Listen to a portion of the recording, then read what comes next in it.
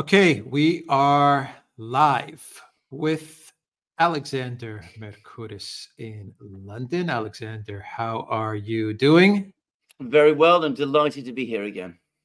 And we are very honored and very happy to have with us once again Lieutenant Colonel Daniel Davis from Daniel Davis Deep Dive on YouTube. Lieutenant Colonel Davis, how are you doing today? And is the YouTube channel the best place to follow you?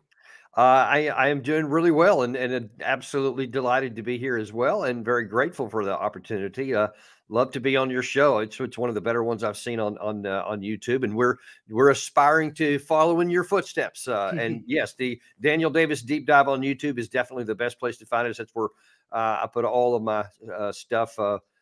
it goes up there, all of our different videos, whether it's a solo or some of the guests we have. so yeah, that's where we're at. Great. And that is in the description box down below. And when this live stream is over, I will have it as a pinned comment as well.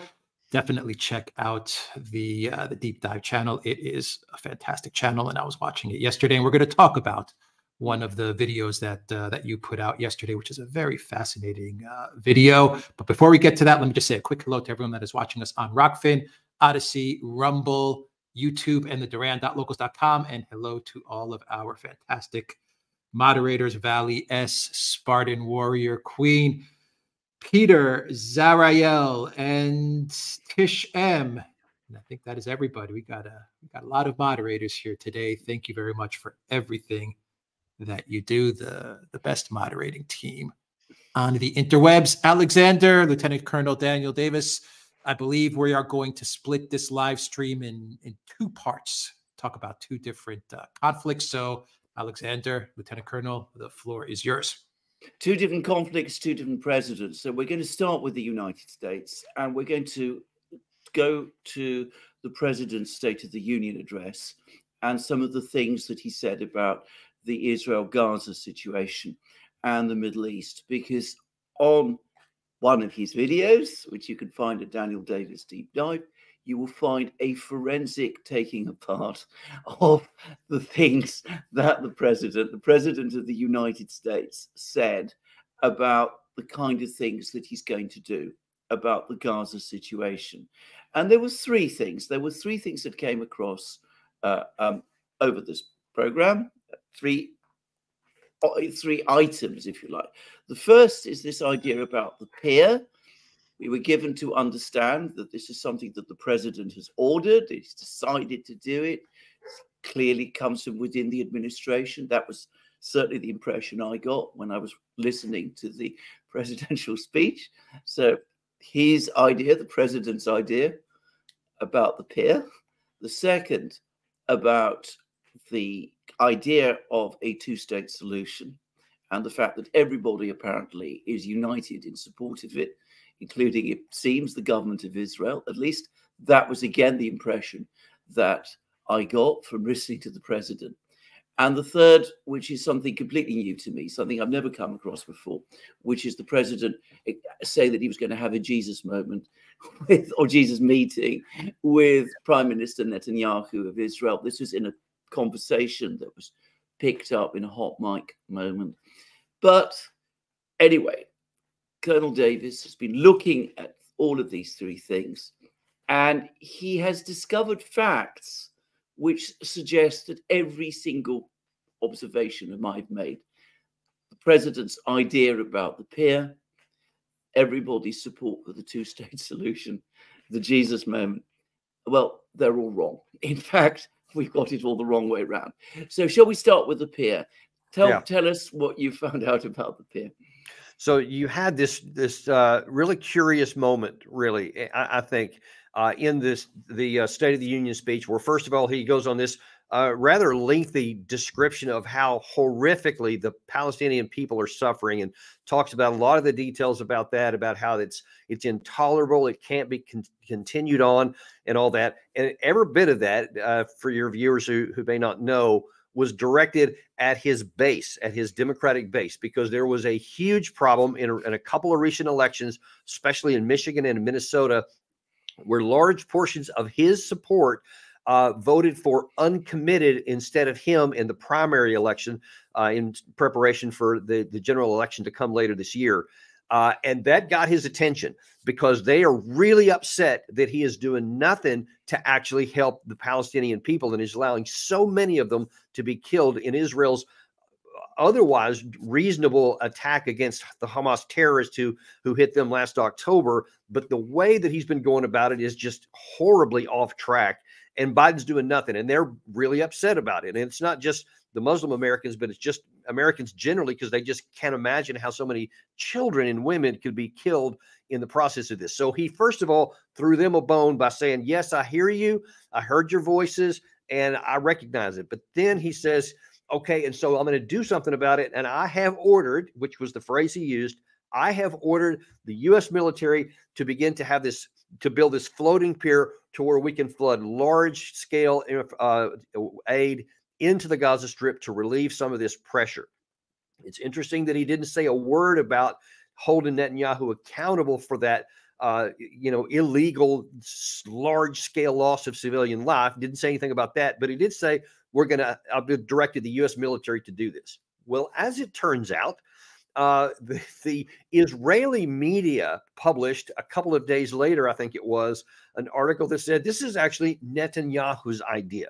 He's been trying to get this done since last year and has been brought brought it up several times here. And so now apparently, finally, Biden decides to do this. And this is bizarre to me on a number of levels. First of all, why is the American president sending American military power to do something that a foreign government told him to do or suggested, whatever word you want to use. The bottom line is Netanyahu had the idea, President Biden put it into action with American military power to get it done. But there's a much bigger issue than that, in that you're taking the most expensive, long delaying process. It's, it'll take about two months before this actually gets set up and then uh, uh, aid is going to be able to be flown in or flow in.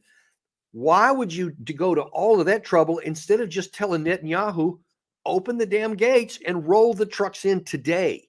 There are hundreds of of, uh, of trucks, Alexander, mm-hmm. that could go in this afternoon if Israel just opened the door, the gates that are already there, or if they open new holes in the in the fences.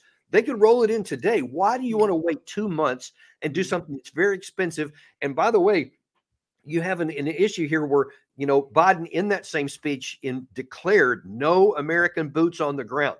Okay, well, if you don't have American boots on the ground, then who's going to did it? Who's going to from the time it gets to the shore? How's that food going to be distributed? Who's going to take care of that? Or are you going to have mobs on the beach like you did a couple of weeks back when we saw that disaster unfold when everybody swarmed the trucks that did come in in that point? You know, how's that going to work? And of course, you're going to have to have some boots on the ground, right? Because you're going to have to build the pier on the ground in the strip. So this gets really messy. But every way you want to look at this, it's mm-hmm. not the way he portrayed it. It wasn't his idea. It's somebody else's idea, and it's the worst way you can get help to the people. Absolutely. And of course, the other thing is that he gave a completely false impression. And I mean, that is for me perhaps the worst thing of all, because I thought when I heard it that it was his idea. He gave me that impression. And he gave that impression to Congress and he gave that impression to the American people. And it turns out it's not. Now, any thoughts at all about why Prime Minister Netanyahu wants this this thing done? I mean, what I, I do, yeah. I, I, number one, it relieves him of any problem, any trouble. He doesn't want to have to worry about feeding the people in Palestine. He wants someone else to do it, so it's not his problem. He doesn't have to worry about it. So it's a lot less trouble for his forces on the ground to have to manage and negotiate. Mm-hmm. Uh, but secondly, I fear that he's wanting that delay to come in so that his troops can finish the job as he sees it, in Rafah because he claims that they still need several weeks of military operations to uh, allegedly get the last four battalions of Hamas fighters that are that are reportedly down there. Uh, as I have said every time I've talked about this, there is no military solution to this. Uh, Netanyahu thinks in his mind that he's about to win a military victory, a complete victory is his phrase, in weeks, not months but he is blind to what he's doing because in going after Hamas the way he has and killing tens of thousands of innocent people, destroying the ability of, of the other 2 million people to even live in this area afterwards. He has created such hatred and animosity towards Israel that dwarfs anything that existed on the 7th of October. So even if he gets the people titled Hamas off the map, if that somehow were to happen, there are so many more people that are going to uh, potentially have actions against mm-hmm. Israel going forward and in the region that mm-hmm. will hate Israel, and their security will be worse, not better after it's over. But I think that's why he wants this this deal because he knows it'll take a couple of mm-hmm. months so that he can quote finish the job in Rafah.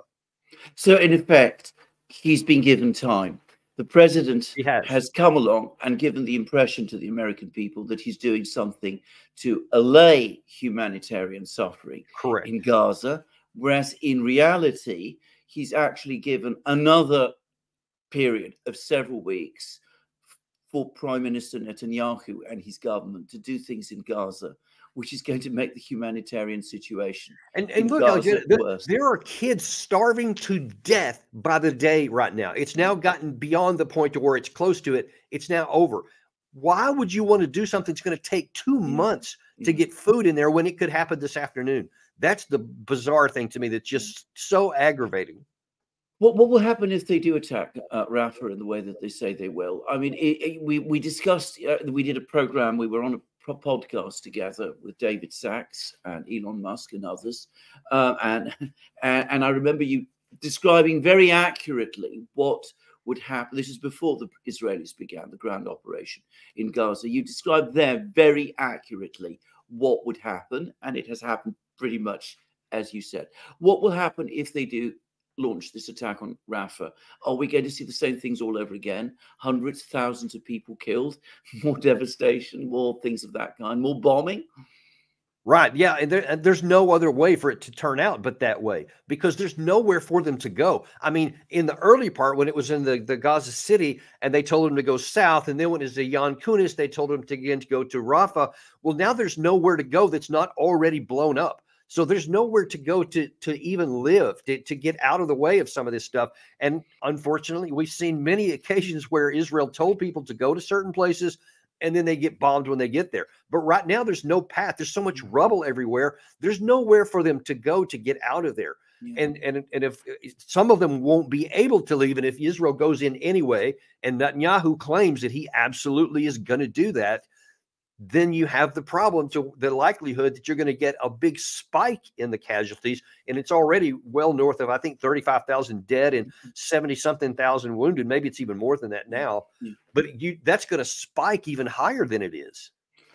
and this is, I, I come back to what I said. I don't like, I mean, personally, I don't like being subjected to this kind of manipulation, being told that something is the president's idea and it's tended to make things intended to make things better, when it seems instead that it's intended to facilitate something completely different and it was somebody else's idea in the first place. That's my own view. Shall yeah, we move to the just imagine yeah. if, if he was yeah. honest about that and said, um, I'm gonna put the US military to do this complicated mission, very expensive and time consuming that President Netanyahu asked me to do. Uh, of course, he would be kicked out of office. I mean, there'd be protests by the day, but instead, he doesn't tell them that part. He doesn't tell them that that buys Netanyahu two more months of time. And he claims that it's to the contrary to help the poor, suffering people when it's going to help them, more of them die, and it's going to delay them getting life sustaining food. It's the opposite of what he claimed is going to be the mm-hmm. result. It's, it's mm-hmm. mind blowing. Yeah. Now, he also, he's been very big over the last couple of weeks about the two state solution. And he gives the impression there is an international consensus behind this. And he seemed to imply that, you know, eventually the Israelis would come round. But well, you've looked into this, not into things that Prime Minister Netanyahu has been saying in the past, but things that Prime Minister Netanyahu has been saying recently about the two stage solution what was two-state solution, Rob? What has Prime Minister Netanyahu been saying about yeah, the so? So as, as I, have detailed on, on, my channel several times uh, over the months, uh, many times. Biden specifically has said, yes, the two state solution is the only path. And then some uh, Israeli official almost always comes behind and, and says, no, there's not going to be one. Absolutely not, to, to, to, quote one of their former ambassadors, uh, you know, and, and unambiguously saying no. And Netanyahu a few times implying no. But two days after Biden's declaration that there, a two state solution is the only alternative, uh, Netanyahu goes on Israeli television when the, the videos are out there to where he says the people in Israel are behind me and agree with me that they don't want anyone shoving down our throat a Palestinian state, which is not going to happen. So he says point blank, mm. whatever he said, they're trying to shove it down my throat. It ain't happening. We're going to, there will be no Palestinian state. That's not even on the cards because, as he said a week or so, a couple of weeks before that, you know, that would be rewarding terrorism or whatever. And so he's going to move forward with whatever he's his view is, as he said, from the river to the sea, meaning West Bank, the Gaza Strip. He's going to control everything. That's not a two state solution. That's basically imprisoning 5 million people. Yeah. And the president presumably knows that Prime Minister Netanyahu is opposed to a two-stage, two-state solution. I mean, he must know this. I mean, he's if, if it's out there in public, of and of course he has all of these meetings with Prime Minister Netanyahu, but he then talks about the fact that he's going to have, sorry, is it the Jesus moment or Jesus meeting? I can't remember. But he's going to have one of these things. Apparently, well, can you explain to us what that means?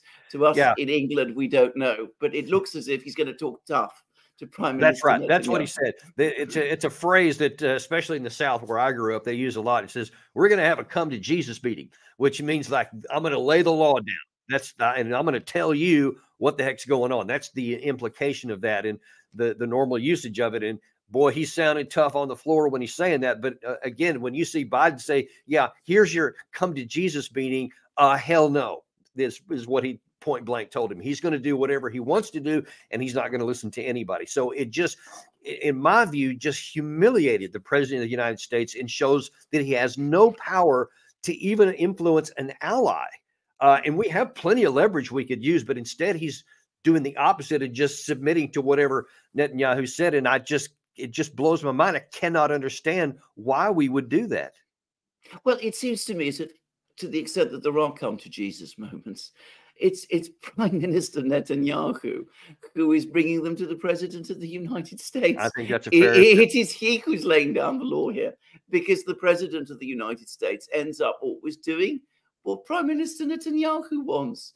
Um, we we've not seen any progress towards a two-state solution, and of course, we going back to our earlier discussion, we're going to get this pier, which is what Prime Minister Netanyahu has wanted for months. Yeah.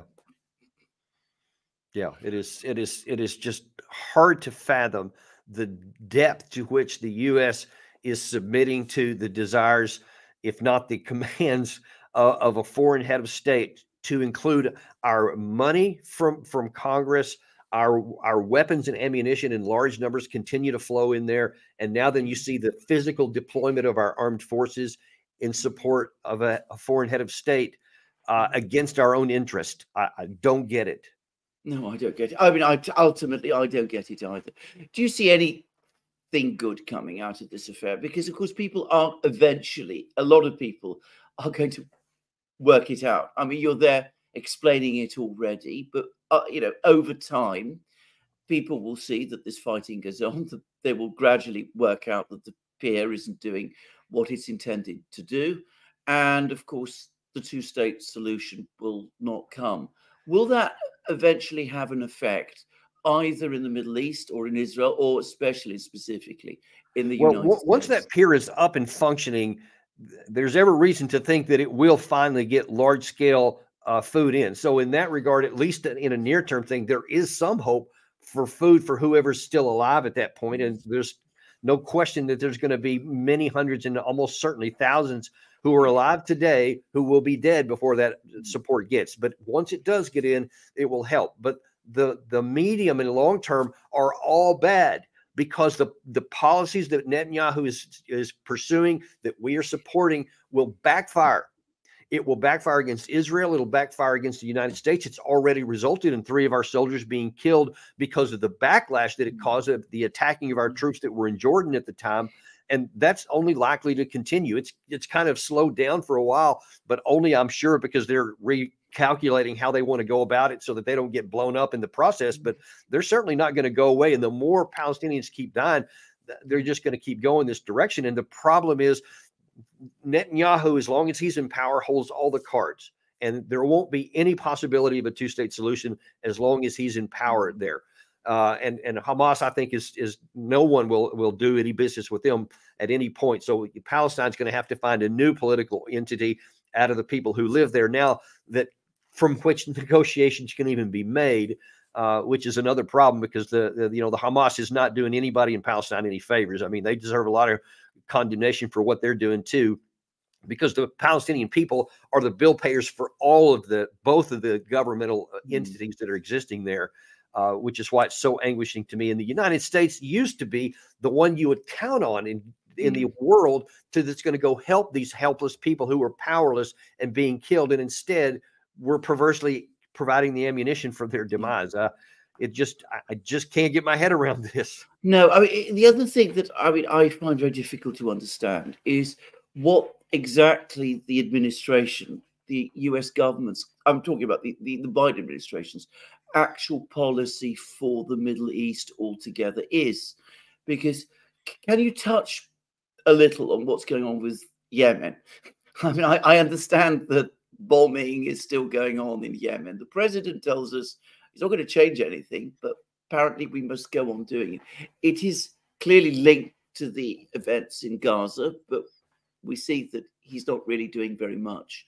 Yeah, it's, it's expressly linked. I mean, the the, yeah. the Houthis expressly say this is directly in support of the. Palestinian people, and all of it started after uh, the large scale deaths started occurring there. It's precisely linked, and we have basically open, embarked on an open-ended war. The Saudis went for almost a decade trying to subdue the Yemenis, and despite all of their substantial uh, power in the air and their technological advancement over the the Houthis, they were never able to to subdue them. We're not going to be able to do it either. We just have this open-ended fight where it's going to continue on for some indeterminate period of time. But the bigger issue, which you kind of touched on there, there's no strategy we don't have a plan that says here's what we want to accomplish in the middle east and here's how this coordinates with it and this is connected. There's none of that. There's just reaction. Well we're reacting to the, the the red sea thing because i guess we're supposed to. Even though china and asia the, are the biggest beneficiaries of, of our actions there to try to keep the red sea open because most of it is is from the asia than even the united states. Uh, but that's a separate issue i guess but you see, we have no plan. We just react to stuff. And mm-hmm. why do we have troops on the ground in Syria and Iraq? There's nothing in our national security at stake. Why did we leave those people there so that three of them were killed recently and the rest of them are, I don't know, what are they doing? There's no strategy, there's no plan. Mm-hmm. And there definitely isn't a plan for the Middle East in terms of Israel and the and the Palestinian issue. Since we keep claiming it's a two-state solution with our mouth, but with our actions, we say we're supporting the guy who says there is no two-state solution. So you see the significant yeah. mismatch between ends, ways, ends, and means, and we just have no vision. It's uh, terrible. I mean, the other the other thing to say, Jen, this is my last point here, which is that what you're describing is drift. At least that's how it looks to me. And drift in this particular region, in this kind of way, is inherently dangerous. I mean, there's always a risk that something is going to happen which can't be controlled easily. I mean, I, I, I'm sure you can remember it. I mean, I can remember what happened when the US put troops in Lebanon, for example, in was it 1982, 1983? Yeah, I mean, you know, the, sooner or later, I mean, I, I want this to happen. I hope it doesn't happen, but sooner or later, somebody's probably going to try something like that. I mean, this is that kind of a region, I would have thought. And you don't want to be without rudderless and without a strategy in a region like this, or so it seems to me. And you know, there there are so many in the United States that want to exacerbate this problem by saying, you know what, John Bolton did this a couple of days ago.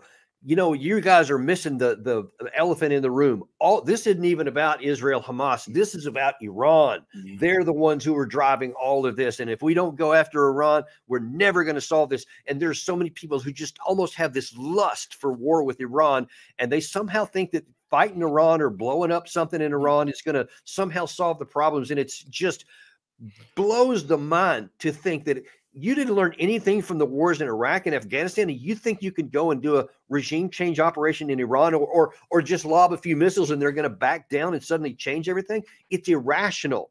It's mm-hmm. illogical. And yet they're emphatically saying that they want Biden to make even more mistakes than he has. Hopefully he'll resist that kind of activity, but there's a lot of desire for it in this country.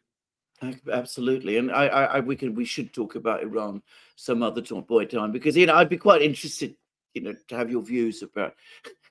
to me, they look like absolutely impossible risks in attacking a country like Iran, much yeah. bigger than Iraq, completely right. different landscape, mountainous, probably more sophisticated, but definitely more sophisticated. Definitely, especially all kinds of. Yeah, absolutely. Let's let's speak, let's switch to the other war because we're waiting this evening for the address to the French people mm. by President Macron of France. And I have to say, I have a deep sense of foreboding about this. I think this is, you know, we're going to see another folly piled on top of all of the others. But there's a lot of suggestions that what has driven this are a series of reports which have come from the French military. And the French military have been looking at the situation in Ukraine and they've come to all kinds of conclusions which look to me to be correct, except, of course, that they're about the same conclusions that you reached about two years ago, more than a year ago, about the kind of problems that Ukraine would run into. Now, have, are you familiar with what I'm referring to? This article that's appeared in Marianne, a French newspaper, these reports. Um, have you anything particular to say about these reports that we've got from France? Yeah, uh, kind of late in coming, but uh, I mean, the, the conclusions are, are self evident on the ground. I mean, you don't have to be a military expert to be able to see that Ukraine is losing the war. They threw everything in the world that they and the NATO alliance had at Russia in 2023 and didn't dent the lines. And now then they're falling back. They can't recruit more people. They can't mobilize more people. They're literally some of the people who are grabbing people off the streets in, in Ukrainian cities. Uh, some of those guys are even being killed. It's just terrible. They can't get the man, manpower. And now then there is no appetite in the West to repeat what they already threw away through the first two years. So there is no path to a Ukraine even holding the line, much less winning. There's no path to that whatsoever. The question is why are we coming to this conclusion now in the third year, the beginning of the third year of the war?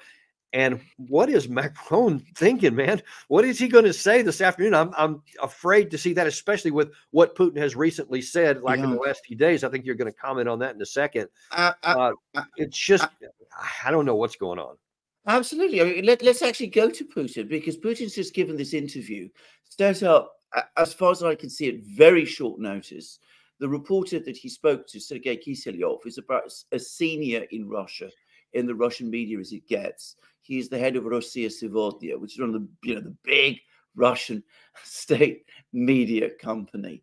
And it was clearly done in anticipation of what Macron looks like he's going to do.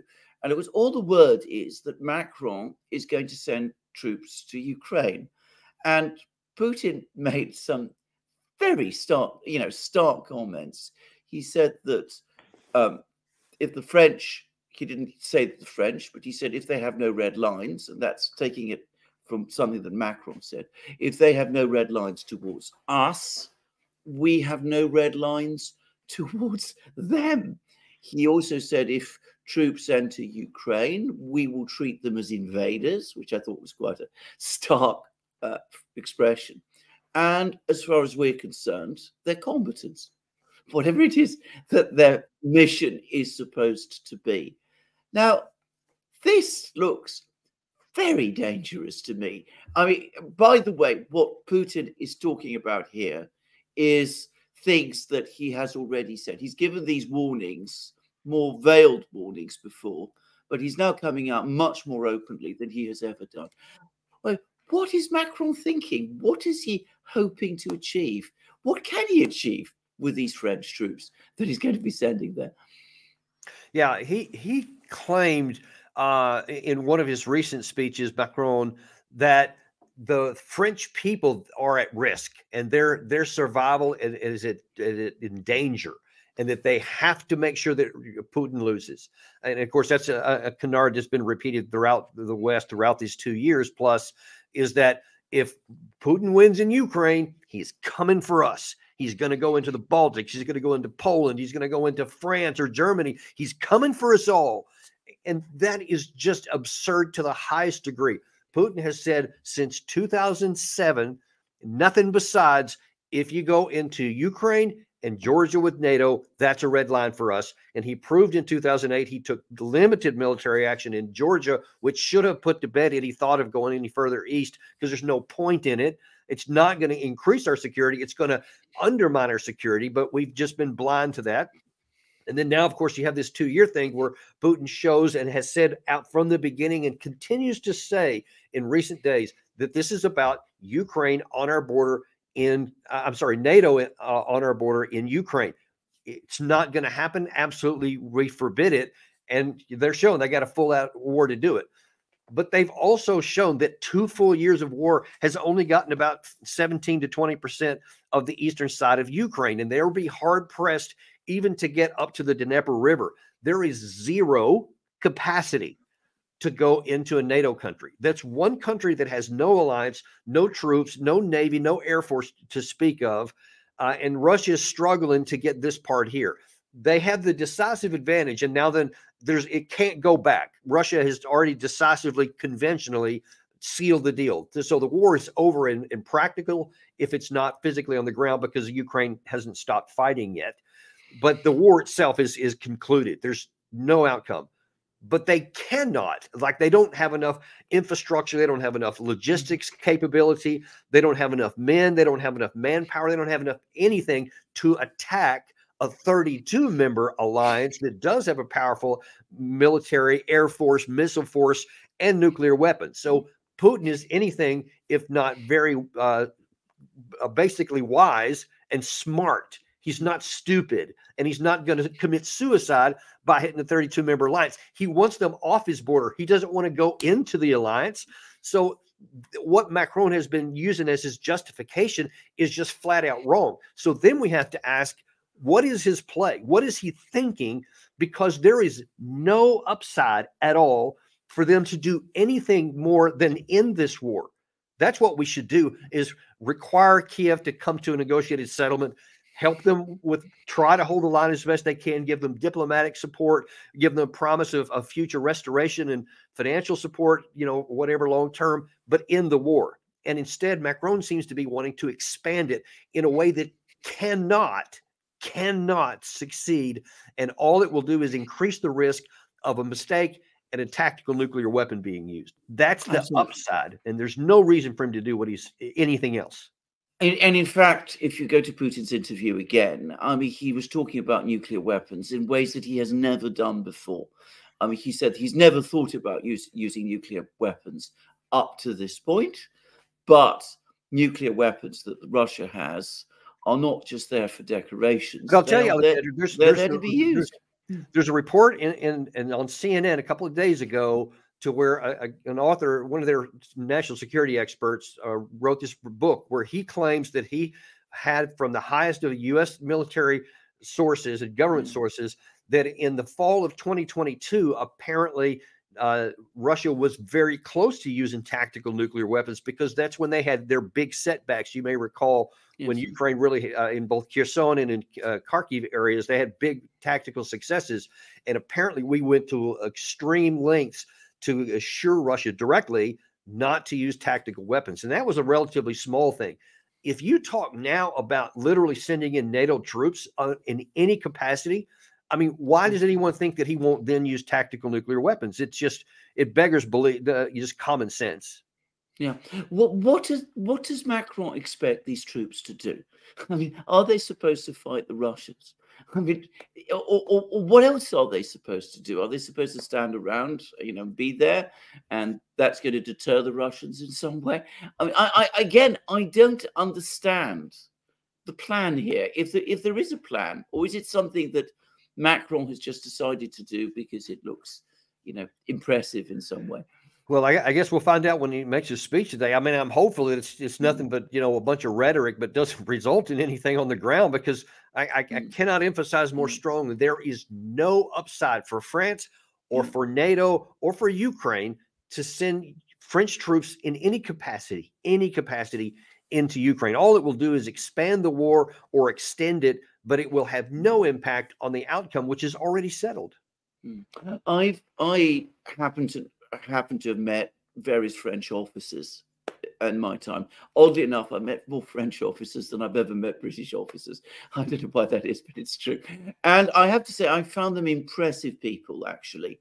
Um, I don't know whether you've had many dealings with the French army, but I found I the French officers, yeah. And I thought they were impressive, intelligent people. I can't imagine that they are happy with this.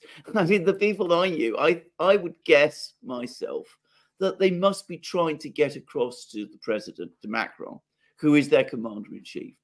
This is a terrible idea. Why do you think he's not listening to them?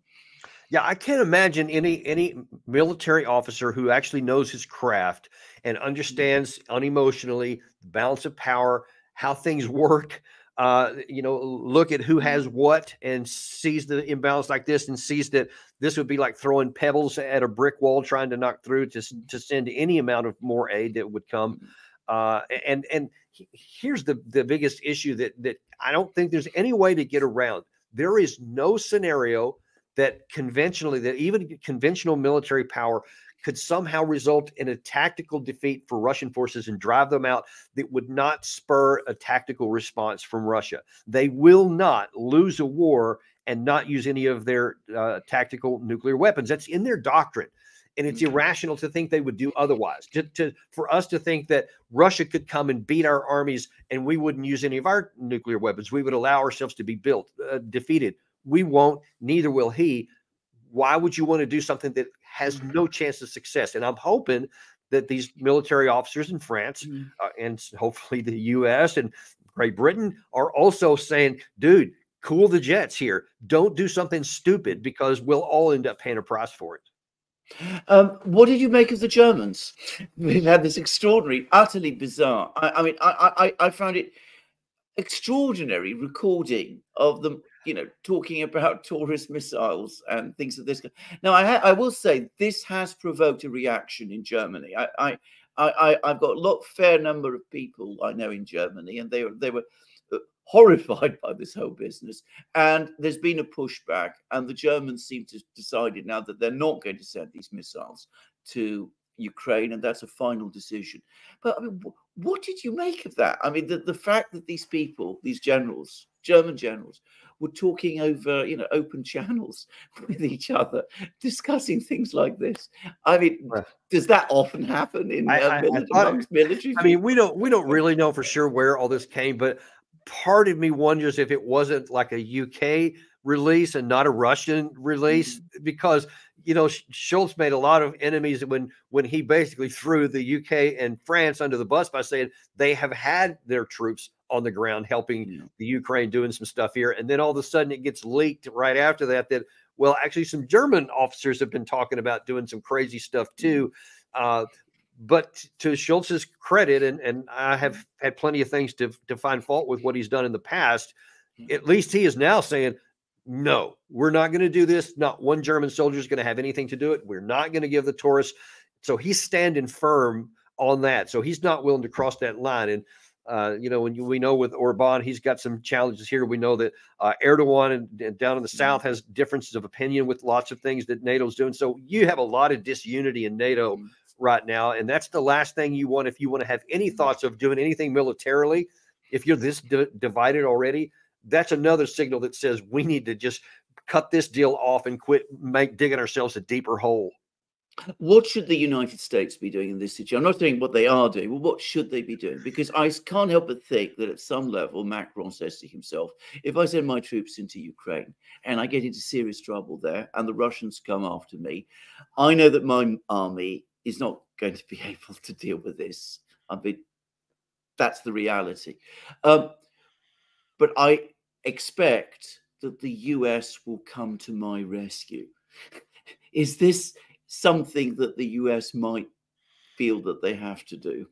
Well, um, God help us if it is, but you, you ask what we should be doing, and what we should do is recognize reality and tell yeah. Zelensky privately, uh, the the show's over. Uh, it, we're not going to give you any more stuff. There's there's no more tranches of hundreds of tanks and artillery pieces, uh, air defense weapon systems. We're not doing that anymore. So without that, you there's not even a prayer that you can do anything uh, offensively in 2025, which uh, ironically is what they're thinking that they're going to try to hold the line for the rest of this year and then think they're going to do it. But it's not coming. So we'll give you money and some defensive weapons to help you hold the line as long as you publicly say, yeah. that's it, we're going to seek a negotiated settlement. That's cutting your losses and stop the the damage that's accruing routinely with what we're doing mm-hmm. now is the best way forward right now because it'll result in some embarrassment it'll mm-hmm. result in a lot of you know the the russians will come out on top and they'll crow about that for a lot of time but then time will pass and things will get back into some kind of normalcy if instead we reject reality and say no we're still going to pursue our preferred outcome in spite of reality what we're going to do is the chances of a expanded war will go through the roof and, and our harm will be incalculable if that happens. That's why we should do it. I don't know. Um, I don't know whether you know a, a, U.S. military officer called Jim Webb, but um, he oh, wrote. Oh yeah, yeah, I know him well. Yeah, well, he took he wrote a really good piece with George Beebe. Who I mean, I don't know him, but George Beebe is somebody who writes lots of commentary and was, yeah, I think, very. I've had both of them on my show before, actually. Well, there you go. anyway, they they did a very fine article back in the summer of this year, uh, last year, right in the middle of the Ukrainian offensive. So this isn't going to work. It isn't working. So you've they Ukraine they were advising then that Ukraine do exactly what you've just said go on the defensive and start negotiations. Now, you know that that would have been a better time, obviously, to do it. Absolutely. Uh, I mean, you know that then if that advice had been followed, then. But I, I, I was really struck by you know the, the sheer sanity of that article at that time, and of course, there's been no follow up from the administration or, of course, from the Ukrainians, um, which is which is tragic, which is a tragedy. I just want to finish on one thing. I don't know whether you've um, seen all of Putin's interview, but his mistrust of the United States is now, um, you know, at absolutely stratospheric levels. He says at one point that I don't trust anyone. And it's clear that he's talking about the West. He even says that people from the United States and the West who come and suggest negotiations and come up with proposals are dangerous people because we've been tricked so many times before. Um, and, you know, we can't really trust these people in any way. I have to say, I, my, my heart sank when I was reading all of that because it shows how very, very difficult negotiations are. And frankly, um, I don't think negotiations like this can happen with this administration. Do you think that if there's a change of administration, we could perhaps start getting things going again? Um, I, I, I, I, should say that, uh, just quickly say that, you know, I, I did a program yesterday with Professor Mearsheimer, um, and Glenn Diesen. And Professor Mearsheimer seemed to think that if we can reboot this whole thing with the new administration, it might be possible. Yeah, I I, I think that's the only possibility because I, yeah. I, I just think that this current administration is just ossified in its thinking and, and it can't it, it doesn't have the flexibility to shift on the fly based on changing realities. And uh, you talk about what Putin said yesterday. Well, just before I came on your show today, and I mean like literally just before, I saw a Telegram post uh, by Dmitry Medvedev who was addressing some of these issues, and he says we hear that some people in the West want to have a frozen conflict or something like that, or a negotiated settlement. But right now, we don't have any trust. So, what is the best outcome then? He said, almost the only thing we can do is to have a military defeat of the other side, mm-hmm. and then have uh, here's the the surrender terms. And so, right now, they're in a position where I've been articulating and arguing that we mm-hmm. should have a negotiated settlement, like I just said. But we're getting dangerously close if we're not already there to the point to where the Russians mm-hmm. may say, I'm not even interested in that anymore. I don't, you can talk whatever you want. Now I'm only going to continue until we conquer uh, whatever we want, and then we'll give you terms of surrender. Uh, and that would be, uh, I mean, so bad because then there'll be pressure on people like Macron to say, oh my God, we can't allow that. We have to come help yeah. or some nonsensical thing like that, which then we get back to the nuclear card. And yeah, it's it's a real dangerous period right now. It really is. I, I hope that Macron doesn't do anything rash tonight in his comments. Absolutely. Can I just say uh, one thing about Putin's interview? Despite all of that, he was careful not to slam the door completely shut on negotiations. He made it clear that he's deeply mistrustful and he wants what he calls very concrete assurances. He didn't explain what those were, and he doesn't seem to know himself, actually. Yeah, At least that was the impression but at least at least he didn't completely slam the door. Right, and that's anyway. why I think we're getting very close to that point. I, I don't think we're there yet because I I, I agree yeah. that he left the door open. But as I've also been arguing, the longer you wait to do that, the worse conditions that he's going to impose to have a settlement, and it can get worse. And it can it, there can come a point to where they say there is no more talk. We're just going to conquer what we want, and I'll get back to you at that point. I hope we don't get there. Absolutely. Um, Colonel Davis, this has been an outstanding program. I, am going to go over to Alex at this point. Thank you for all your insights today and all this information. And can I just say, from my part, please do go to Daniel Davis Deep Dive. Watch that video that we were talking about at the start of the program, but also lots of other good things on that channel every day. Over Thank to you, you Absolutely. You have uh, five ten minutes to to take some questions. Yeah. Okay, great. From let's see here. Sir Mugs Game, Colonel Davis, how long will Russia play the geopolitical fire brigade to NATO geopolitical arsonists and their ring of fire around Russia's borders? Well, I mean, they're going to continue on as, as long as there's fire to be put out. And, and as long as we keep doing these kinds of things and, and sending in more ammunition and sending in, you know, experts or whatever, and you know, we're about to add in the F-16 apparently, and there's talk now in Washington that, that we're going to add also the long-range uh, HIMARS missiles that we haven't given so far. And as long as we keep adding more fuel to the fire, Russia's going to continue adding fuel to the combat. And uh, you know, it, it's just natural. There's no way that I, I don't know what people are thinking that somehow that's going to make Russia after two plus years of war suddenly stop and suddenly back down. I mean, it's irrational, but that seems to be a lot of that going around. Hmm.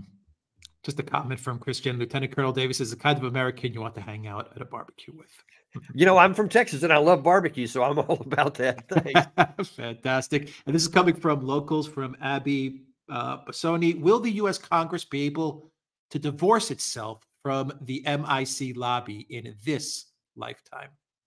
No, they, they will not. And until something catastrophic happens and, and, and the members of Congress as a group uh, perceive more loss than gain to go to the to the uh, to the con- uh, to the lobby, they're going to continue on because there's so many millions of dollars that come in from that that don't I can't be matched anywhere else. That, that's why there's a number of good people in Congress. There really are. I, have met some of them, uh, but they they are not well funded. They don't have the millions of dollars, so you never hear from them. They, when they make comments, it doesn't get picked up by the news media, uh, and these other people who get these large, you know, backing and hundreds of thousands in their reelection campaigns. I mean, there it's not actual bribing to where they say, look, you know, vote for the war so we can make more bombs. They just say, hey, here's a hundred thousand dollars, three hundred thousand dollars from our industry. We like what you're doing, and so you're going to automatically buy on your own, keep doing it to make them happy, so that that money keeps rolling in there. And as long as the system continues the way it is, I, I don't see any evidence at all that it's going to change. There's no evidence so far, very sadly. From Zariel, Colonel Davis, who actually has control over the nuclear football? The senile old man or the sick military Darth Vader? Crazy question, but we need to know.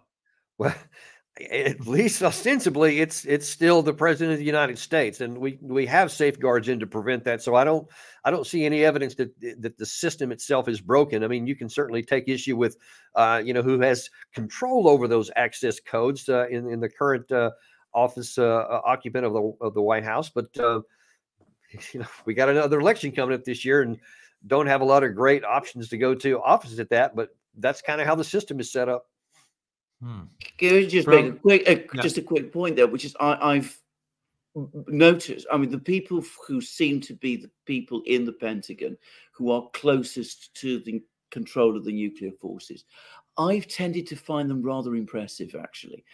Um, this is my own personal view, but I, I don't think they're the sort of people who would want to do any kind of crazy things. That was my own sense of them.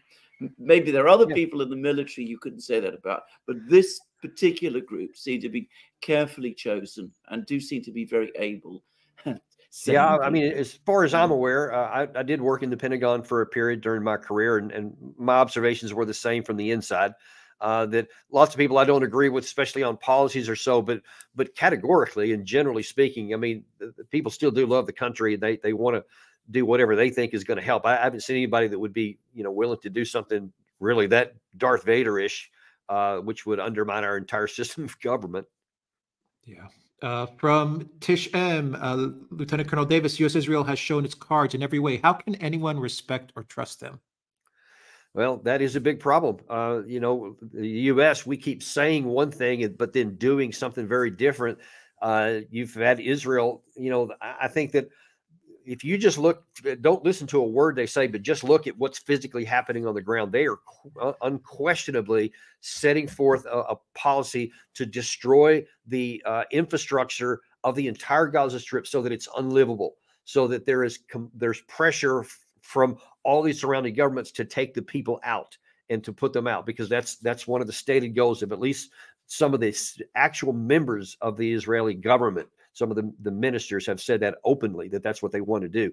And that is clearly what they're trying to do. But then they use, because they have to keep the support of the American people, uh, especially those on the right, they keep using the language that we ourselves use on our operations. Well, we have targeted operations here. We're going after the bad guys, but we, you know, we're being we're going overboard and trying to take care of the people. So the words are saying this and the actions are doing the opposite.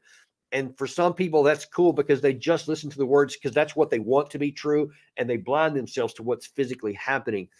But there's fewer and fewer of those people. And so I agree that the trust is just getting just chopped with an axe by the day. And it's not too many more whacks before all the trust is gone. And, and if you don't have the trust of the governed, then you've got some real problems no matter what the country is. Mm. All right, we'll do a couple of more, and then we will uh, let the very busy Lieutenant Colonel Daniel Davis go.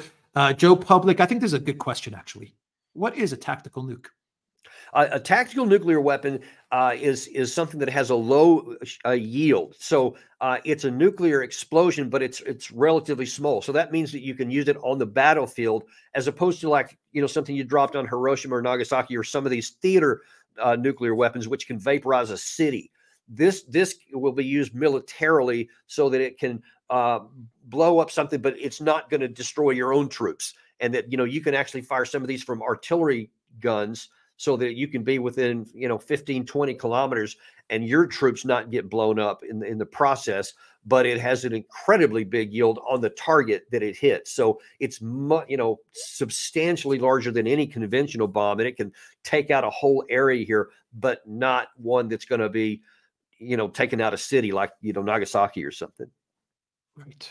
All right. We got so many good questions uh, for for you. Let's uh, let's move on here. Uh, from Commando Crossfire, Russia faced down a united and fully militarized Europe in 41. So I disagree with the notion that Russia is too weak to do it again now. The troubles they are having with Ukraine is political. This is partly a civil war. Yeah, well, there's no question that, that the, the Ukraine war is a civil war. Then that's how it's been since since 2013 when the Maidan first started. and then in 2014 devolved into a physical civil war where the split between the Luhansk and Donetsk region and the rest of the country, you know, turned against them, and it was just you know terrible. And there was other areas down in Odessa, for example, where there was some horrific bloodshed uh, against the the, po- the folks who were from the east. Uh, Putin re- recalls that many times here.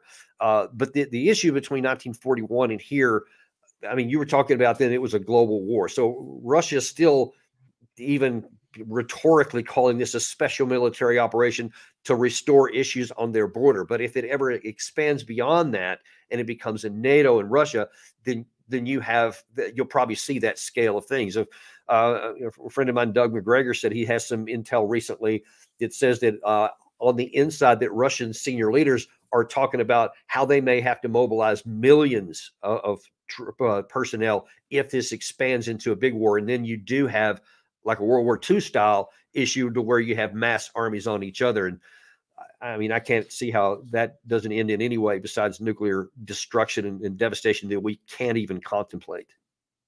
All right, here's a good question to follow up on that. Are the stakes too high to allow an election in 2024? Uh, no, there's there's not. I mean, it's it's ironic that that Russia's going ahead with their election, and we call them the autocrat, but Ukraine has chosen not to, and saying that very thing that well, you can't have it during a wartime, so we're not going to do it. Uh, and certainly, the United States, there's absolutely no reason why we can't do it, and, and will do it. Uh, but it's it's it's just kind of really puts to show we always want to say that Ukraine is defending democracy and Russia is the autocracy, and yet who's not having an election and who is in wartime. I, I found that disappointing. All right, two, two more, just two more. We have so, so many good questions here. Uh, will the Gaza floating pier be used to bring food in or get the population out? Biden cabinet is floating the most uh, AIPAC in history. No way they would do this to help Palestinians, in my opinion, from Brooklyn uh, yeah, they will do it to help Palestinians for for sure. For sure, that'll be the case. This it is definitely being designed to get people out. But I have heard that there are those who are going, hmm, that pier can work two ways, so they can get them out as well. But if Egypt and Jordan say that they're not going to take anybody because they say that that's their land and they don't want to basically be an accomplice with Israel to to eradicate the land of, of the people who live there I don't know what other country would take them. So you could physically get them off, uh, you know, through that pier, but to where? Where would they go? Who's going to take them? I, I can't think of any nation on the planet that's going to take them right now. And a final question from I am Valentina: Is Lebanon going to take on Israel in the big definitive way? Well, that that is an open question, and actually, there's that's been a constant back and forth between who might initiate it. Israel keeps making comments that they might initiate it. So they they've even talked some about if there is this six week uh, ceasefire that Biden keeps saying that he wants, um, that Israel at least said they're open to if they get their hostages back that they may use that opportunity to then go after Hezbollah in, in Lebanon and go all the way to the Litani River, which is about 25 kilometers deep into the country. Uh, and then, of course, there's there's also talk that maybe the Hezbollah itself could be so upset that they finally open a full-on war against Israel from the north. Um, and and both are possible. And God help us if either one of them happens.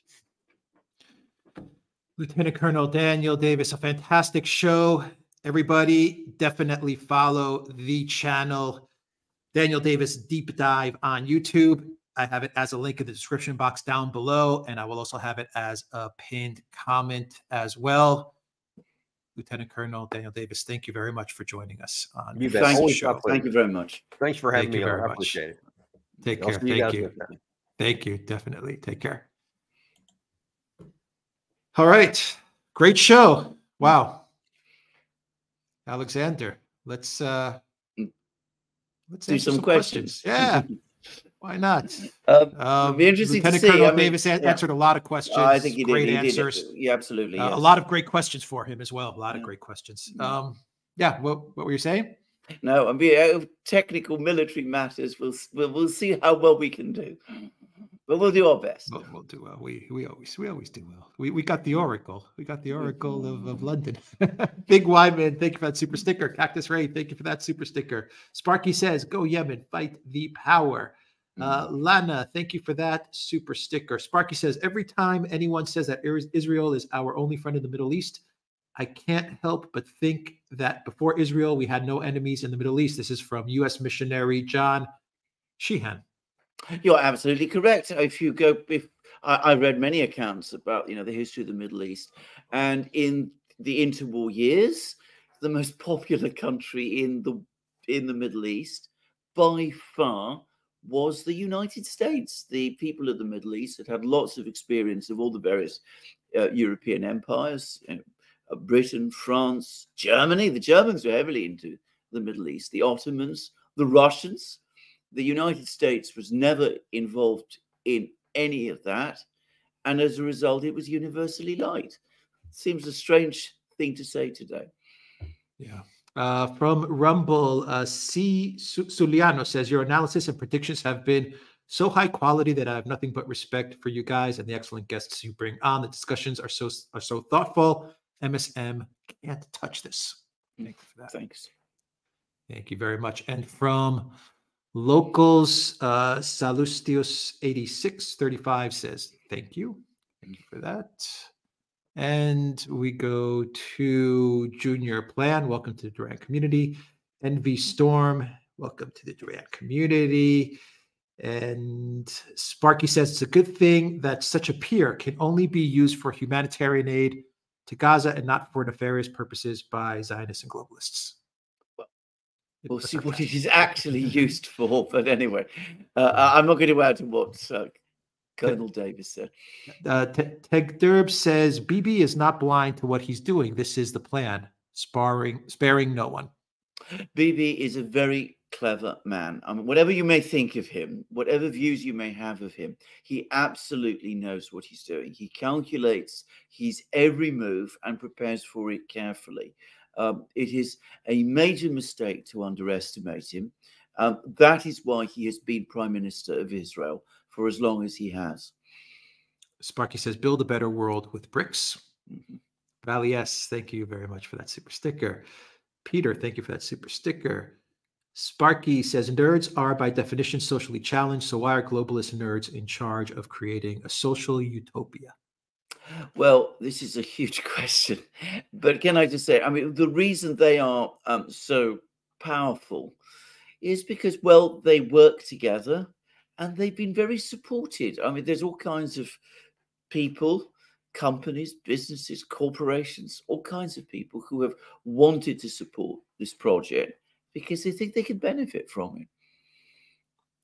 Yeah, Franz Peterson, thank you for that super sticker. Nikos says, Colonel and Duran, you need to make a video with Dima. The Ukrainians are attacking nuclear power plants in Russia NATO's has NATO has three hundred thousand troops at the border. Three hundred. Right, right, right. I, I, I think That's, the three hundred. Yeah, yeah. The, the three, that that story has been spread around about three hundred thousand yeah. troops at the border, but there's been a lot of analysis and discussion of this, and this is a wild exaggeration. I mean, there aren't basically that number of maneuver troops in NATO. The, the, the talk about setting up a 300,000 man force has been around for a very, very long time, and it's just not got off the ground. The reality about NATO militaries is that they are in a terrible condition. British, the German, the French, none of them are really at the present time fit to conduct that kind of operation. And there are not enough American troops in Europe to create a force of this kind. I, I don't quite know myself whether this 300,000 figure has come from. But anyway, it, it, it's it's uh, it's wrong and it's frightening people. But as I said, it, it, it isn't it isn't true. The other part of what you say, however, is absolutely correct. The there nuclear. was a the nuclear one. They, they would nuclear, uh, there were drone attacks on a nuclear power station in Rostov, did minimal damage. But the Ukrainians have recently restarted the old game of launching strikes and attacks on the Zaporozhye nuclear power plant and things around it. It's a reckless and unbelievably dangerous thing. And I suspect that, you know, some people, Dima, for example, the military summary channel, thinks it's intended to capture the nuclear power station. I personally think it's intended to attract attention. The Ukrainians feel that everything is going wrong, going very, very badly wrong. And they're in effect saying, look, we're, we're doing all of this. We're desperate. We're attacking this nuclear power plant. Come to our rescue because if you don't, something really bad will happen nuclear power plant or something of that kind. So that is what I think this is all about. But it is scary and very bad, and it's terrible again that Western leaders don't call it out. Joe Public says AIPAC needs to be a proscribed organization. Well, I, I wouldn't go that far, but certainly it, it, it needs to be taken out of the loop of the decision making process in Washington. Its influence has never been good. And in my opinion, it's got both the United States and, by the way, Israel into a lot of into, into terrible trouble. Sir Muggs Game says in the battle of the bookcases, Colonel Davis gets an gets an honorable mention, but Alexander's still holds the title for oh, subtle you. sophistication. Thank you. Mm-hmm. Thank you for that. Sparky says when someone proposes a two state solution, it shows they're out of touch or running interference for Zionists as they work towards greater Israel. Well, can I just say, I know this uh, argument is made, and I know a lot of people say that if there ever was a possibility of a two state solution, it's gone. And people who've been there um, in the place itself um, to Palestine and Israel a, lot of them have said that, and they said that directly to me. People I know who've actually been there. What I say about it is this it is currently the international consensus, it is what unites all the world, it is the basis of any kind of negotiation process. You're going to hold a negotiation process. It has to be based on that because there is nothing else at the present time. If a negotiation gets underway and it turns out over the course of that negotiation that a two state solution is, for many practical and good reasons, unworkable, then the parties to a negotiation, once that negotiation is underway, might be persuaded to find their way to some other solution instead. But for the moment, anybody who wants to get a negotiating process started has to start there. I mean, it may be, it may not be the end of the journey, but what do they say? Every journey of a hundred miles must begin with a single step. Nico Early says, "Give us wisdom." for that. I am Valentina says, "Thank you, gentlemen, for your insight." Eric Hatchett says it's just tactical nuclear weapons. Who catches the first one? Mm. Sparky says, How do we know Israel is not the 51st state? Because if Israel was the 51st state, they'd only control two senators. Tech Derb says, If a two state solution is impossible, it needs to be one state with equal rights and representation for everyone and apartheid. We might very well get to that point. But in order to get to that point, we must start negotiations. We must have discussions. I mean, the South African situation needed discussions. We have to get discussions.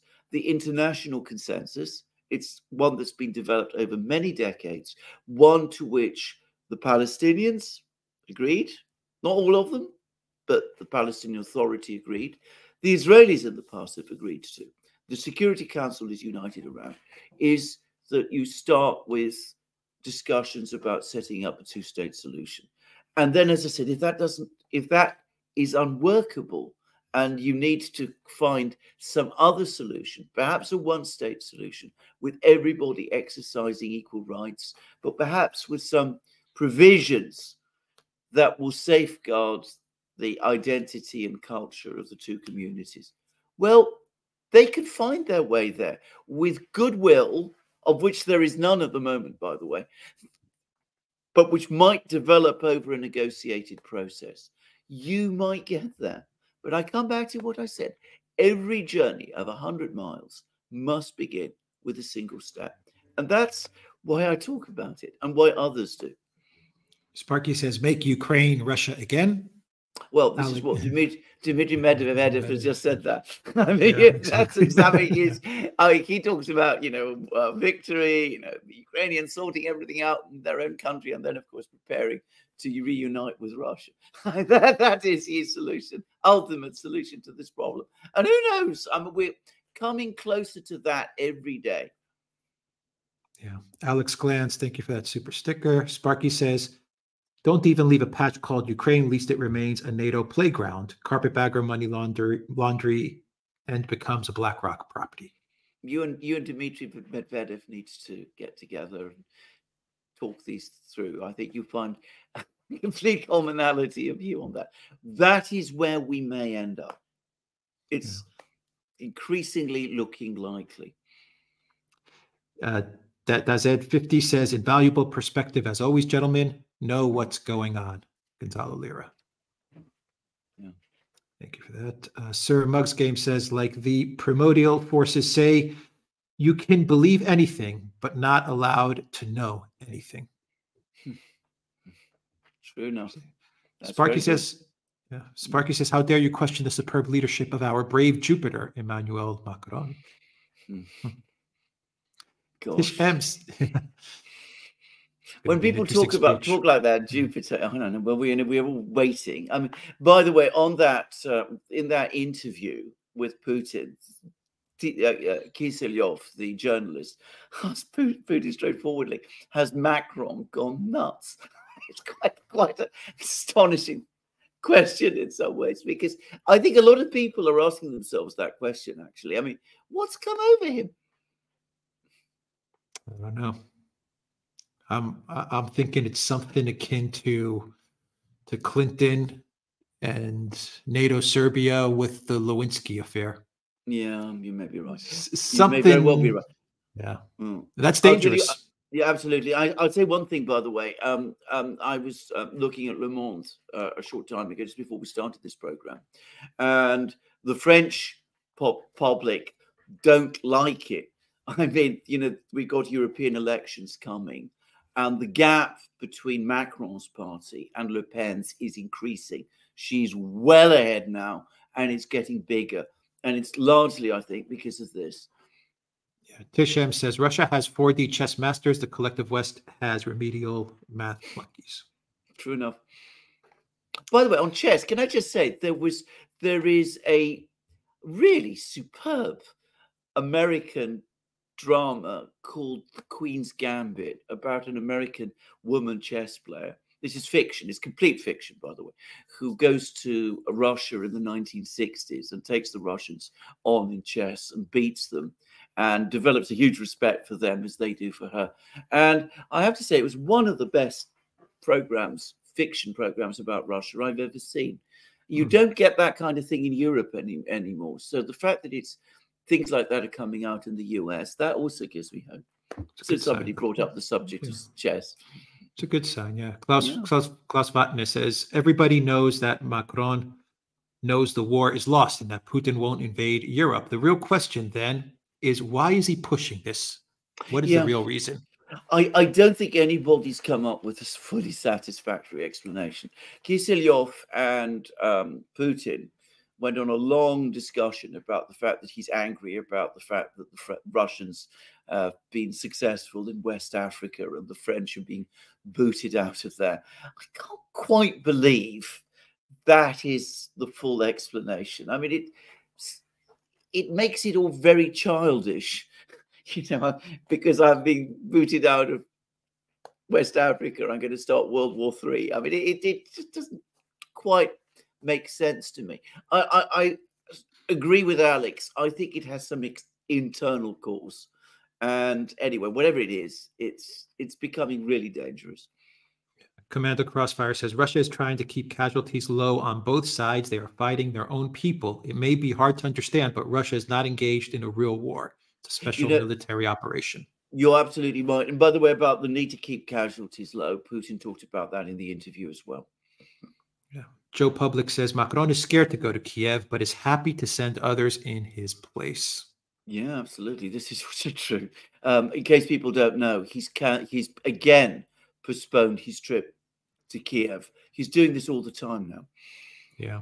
Commander Crossfire says, don't believe for a nanosecond that Russia is has ever thinking about nukes, maybe thought about escalating the SMO to anti-terror or even war, but nukes, come on. I don't think they would, uh, for one microsecond, use nukes if the war was confined to Ukraine. I mean, I, I, don't think they would do that. I mean, I really don't. If we get into a situation where NATO starts to fight the Russians in Ukraine, well, we're, we're in a potentially catastrophic situation. Hmm. Uh, NB Storman says Valley S deserves a raise. She certainly does. Um, Mood Dragon says, "What's your take on this entire Macron stupidity?" Well, uh, you know, we're, we're undoubtedly going to cover this again, probably in a vi- dedicated video tomorrow. But um, something has gone loopy with Macron, and I, and we're not the only people saying that. Putin isn't the only person saying that. Right across Europe, even the British are stunned.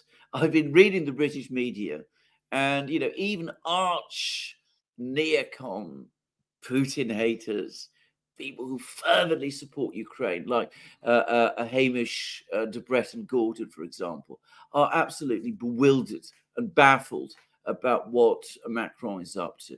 So you know, I, it, it's he's a very complicated man in a very strangely ineffective and odd way.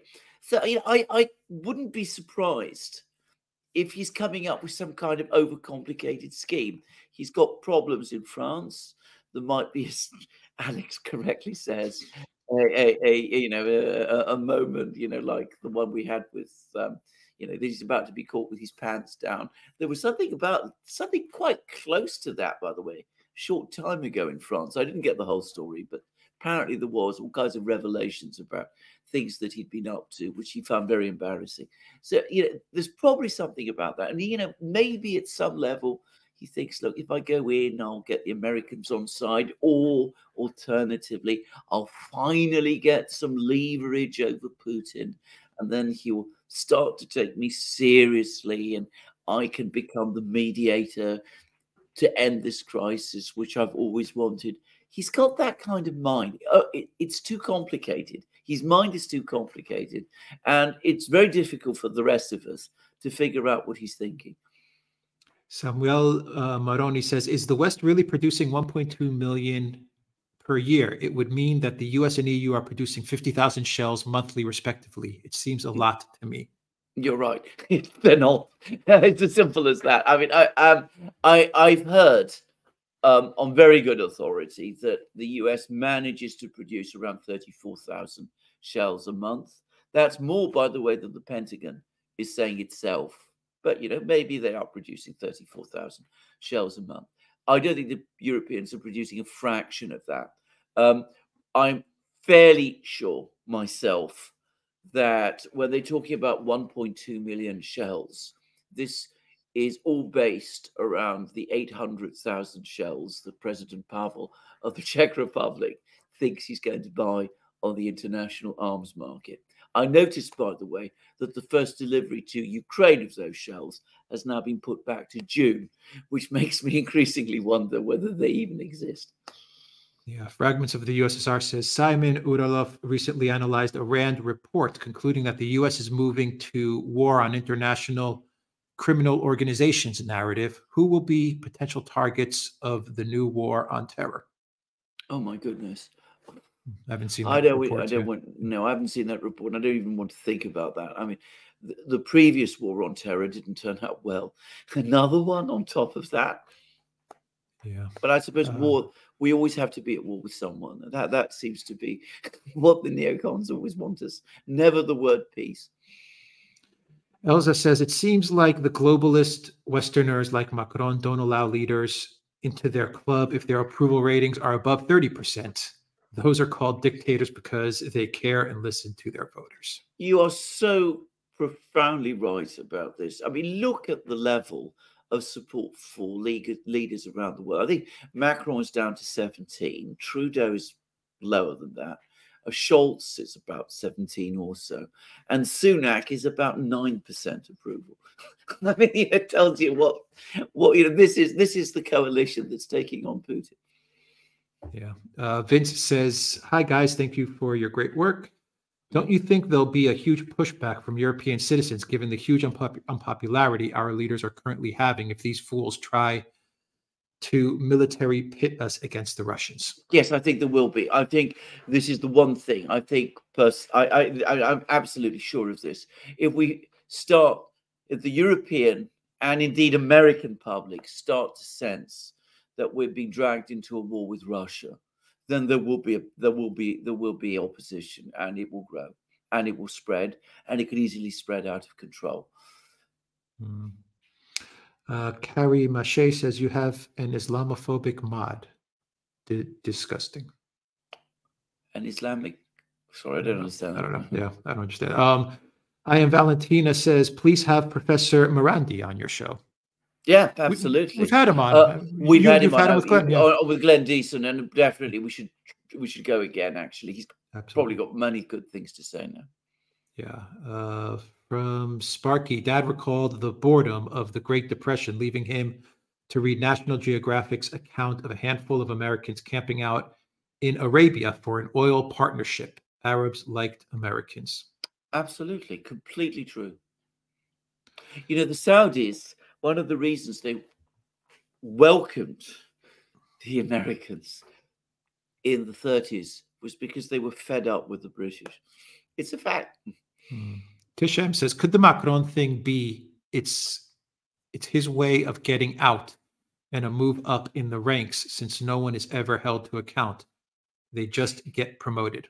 It's a very good. It's a very good thought, actually. Well, who knows? I, in theory, he's still got two years ahead of him as president of France. Two full years. Just think of that. Boa Omega says about Macron's motive if you can't stay young, you can at least stay immature. Red green, maybe the maybe he caught crazy from Dementia Joe. Sniff, sniff.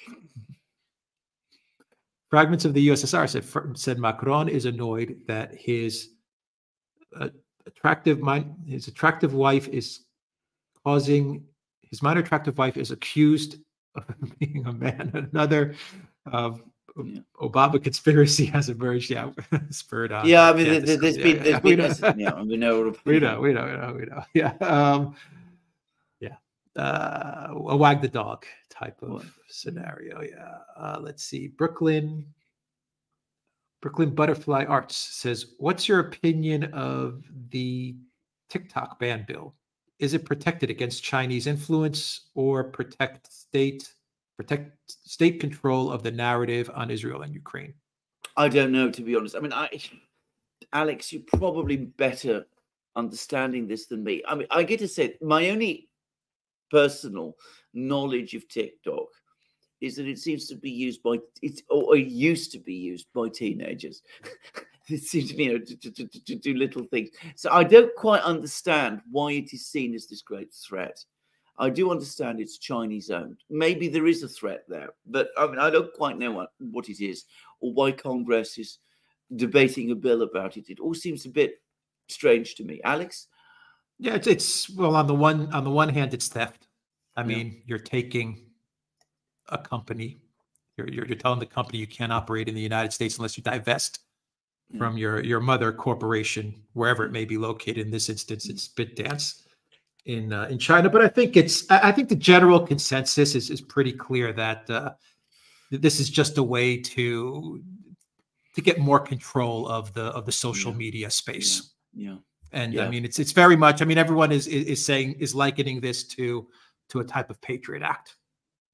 Mm. You know, you start Yeah. with one type of definition of of of, of what's allowed, and and then you and or what's not allowed, and then you broaden it out to to Mm. cover the the uh the, the rest of the public. I mean, I think after TikTok, make, makes yeah, sense. after TikTok, you'll That have makes sense. Telegram. They'll go after Telegram, and they'll say it's Russian propaganda. And eventually, they'll get to to Truth Social or uh, or or Twitter X, even who knows. Yeah. And, and I wouldn't be and I wouldn't be surprised if you have the big social media companies like Facebook, Meta, behind the scenes pushing for for TikTok to go because you know, TikTok is a is a big application. Yes. Yes. Yeah. So Yes. you know, And think it's- it- yeah. And it's out, out. It comes from outside their eco world, isn't it? I mean, Yeah, that their exactly. It's, they're not part of the club. Yeah. And, and- and the, the interesting part about TikTok though is that it's it censors content like crazy. Yeah. I mean, we we, we probably can never have a, an account on TikTok. I mean, it censors everything. Yeah. So so I mean, you know, it's I, I hmm. think that's that's what this is all about. It's all about power and control Yeah. and money. definitely. Because if ByteDance says, okay, take take TikTok, Mm. fine, we we submit. Well, then you know, it's going to be Mm. a lot of money to be made. Uh, Shark Arc Heart says the pier build in Gaza will probably be used to deport the Palestinians in Europe forever by sea. Won't it? Yeah. Well, this is this is what uh, Daniel Davis was talking about. Um, to be straightforward, I wouldn't be surprised if some people in Israel have that at the back of their minds. Whether it will actually ever happen is an entirely different matter. I personally think there would be huge opposition, and you know, millions of people from Gaza coming to Europe. I mean, Europeans won't like it. European public won't like it. I mean, they'd presumably land in Italy first or Spain. Come, Com- yeah. Communism Incorporated says, why do neocons insist on containment measures against the Chinese? The trajectory of events points towards the policy ending in utter failure. China will surpass these pressures and economically win. Yeah, well, when have the neocons ever worried about things like that? I mean, do they do they ever do they ever look think do they look, ever look forward and um, you know understand that if they do these things it will always fail? They never think like that. That isn't what they do. Look at how completely wrong they got Russia. By the way, Putin had a lot to say about that in the interview as well, and he confirmed, by the way, or at least he didn't confirm, he agreed with our analysis that it was all ultimately about uh, regime change, the whole Ukraine thing. He said almost exactly the same things that we say that they started with economic sanctions and thought that would create a crisis there, and then they moved on to military things, and that didn't work. So anyway, just saying. Uh, Klaus Vatner says, is it possible that these leaders are fed with and believe the propaganda? I thought they got briefings from the intelligence community. intelligence community? How do you know that the intelligence community gives them correct briefings? I asked that question because it turns out that the intelligence community now regularly takes what it calls evidence from open source social media outlets, you know, like Oryx and others like that. So, I mean, the, the, the information they're getting is bad. Um, we've discussed this many times. Um, you remember we did the program recently with Tony Shaffer, and I discussed how I thought intelligence was collected. And by the way, I just ought to say, you know, when I said all of those things, that in terms of military things, you investigate who the commander on the other side is, what the resources behind him are, or, or the factories, the, you know, all of that, all the all those sort of things. I wasn't talking off the top of my head. In the legal worlds, when there's battles between big law firms, litigation, that is exactly what they do. They research the lawyer on the other side. They find out exactly what that person is like. How- you know, they try to predict that person's moves. They look at the resources of the client, whether the client is backed by insurance, how the, what the policies of the insurance company is. They do all that kind of proper proper um, analysis and data collection before they get into a big legal battle. I've been involved in that kind of thing, and I assumed that intelligence agencies do the same. They don't any longer. And that was what Tony Shaffer basically told us. Yeah, and, and don't discount the fact that leaders today get a lot of their information from the mainstream media, from the BBC, yeah. CNN, New York Times, Washington Post. Correct. I know a lot of people that that that are making decisions for for countries, smaller countries, but they're in positions of power and they base their policy on what they read on CNN, the Washington Post, and the New York Times. This is a, Yeah. this is a fact. It's a scary fact, but it's a scary fact. I, I, I know that British cabinet ministers get their information principally from the newspapers. I absolutely know that. For a fact. Spark, yeah. Sparky says, "Come to Jesus is a metaphor meaning to get back on the straight and narrow, get your head right, or wake up to reality. But its original religious meaning was somehow lost on Biden's handlers." Yeah. Thank you for that, Sparky. Sherry, thank you for that super chat. Sparky says strict use of a uh, C- CPAP, CPAP, even for a five minute nap, can help many dementia patients. Biden benefits from having people insur- ensuring he doesn't doze off without his CPAP. So he may not need go pills. No, absolutely. Can I just say, I mean, again, speaking as somebody with, with certain beliefs, the president of the United States invoking the name of Jesus after he's engaged in what it, as it turns out, is a deeply manipulative speech. I have to say, it leaves me speechless. Hmm. Yeah. Um, and Mr. Scott says, does Hebrew prophecy dictate Israeli policy? I don't think so. I, I, I can, I, I mean, if, if we're talking about Netanyahu himself, he strikes me as completely secular, and you can see his tradition, the tradition that he comes from, goes all the way to a man back to a man called Jabotinsky, who was a very, very prominent um, ideologue, um, you know, within the larger movement in the 1920s, and whose uh, secretary was apparently Netanyahu's either his father or his grandfather. So that's where Netanyahu himself comes from. There is within the cabinet apparently a group of um, uh, officials, cabinet ministers, who really do apparently want to rebuild the temple and to establish Israel, greater Israel, uh, along what they say were its biblical boundaries. And apparently they are growing with growing in influence all the time. But I don't think this is what drives Netanyahu himself. I think Alastair Crooke was talking Absolutely. about that on, on a He's show that, that we did here. Yeah. Absolutely. On that very point. Yeah. Brilliantly. Brilliantly. Yeah. Joe Public says Abby Martin or Whitney Webb would be great guests. Yeah. Yes, they would. They would. We will we will try to to reach out to them. Um let's see. I think that's everything, Alexander. Well, yeah if it was everything, it's an amazing program, by the way. And uh, well, we are in scary times. I have to say, I mean, it's scary. I never expected that the person who would perhaps be leading us into Armageddon would be Emmanuel Macron of all people. I mean, it, it you know, you know, to have survived Victoria Nuland to only to be led to catastrophe by Emmanuel Macron. I mean, it's almost it almost beggars belief. Well, I, I, think we'll get through. Let's see what he says. Yeah, well, let's see what he says. And I think we'll get through this. I mean, I wouldn't. I, I, I think that you know he's very much the sort of person who I think you know will lead the will lead his troops up the hill and down again. I don't think it's going to. I mean, that's that's ultimately what will happen with him. But anyway, still. One thing to always remember about Macron, and we've said it on many uh, shows that we've done covering Macron, is that he is he is a flip flopper. He says one thing today, yeah. changes his mind tomorrow. So even if he comes out today and says crazy stuff tomorrow, he could yeah. come out and, and say Putin's my best friend. I mean, that that's Macron. Absolutely. The, the guy's constantly changing changing yeah. his positions. That's absolutely correct. Yeah.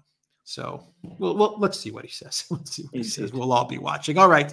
Uh, thank you to everybody who watched us on Odysee, Rumble, YouTube, Rokfin, and theduran.locals.com. Thank you to our guest, Lieutenant Colonel Daniel Davis. Once again, his information is in the description box down below, as well as uh, a pinned comment when this live stream ends. I will have the link to his YouTube channel as a pinned comment.